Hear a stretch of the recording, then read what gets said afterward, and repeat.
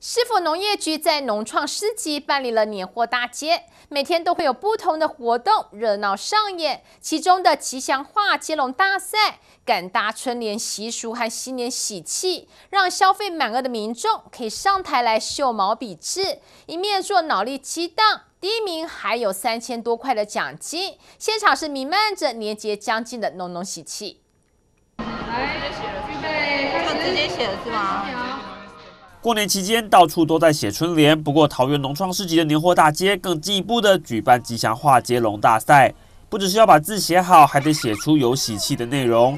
更重要的是，还要源源不绝的想出新梗，才能够打败其他对手，获得冠军。春联比赛，我们只要在市集消费满三百就可以来报名。好，我们现在进行第二回合，成语的接龙。对。三十秒内，民众必须写下吉祥话，而一旁的人可也没闲着，因为很快就会轮到你了，一个接着一个轮番上阵，很快的，谁先想不到谁就输了。不过台上的这组看起来应该有偷练过，即使快手写字，仍然保持着一定的水准。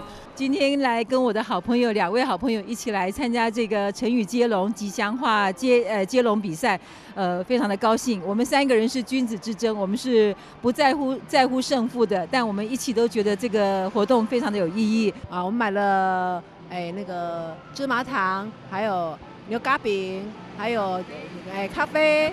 还有这个牛轧饼，我觉得有很多有有趣的东西。可惜呢，我觉得哦，知道的人不多，所以希望呢，诶，政府要多加宣导，让这些摊位的收益会更好，摊商收益收益可以更好，然后让桃园人知道这么这里有这么好玩的地方。第二年的农创市集，第二年的年货大街，各类型的摊贩每天都有不一样的活动，等待民众前来探索。桃园新闻陈彦任巴德采访报道。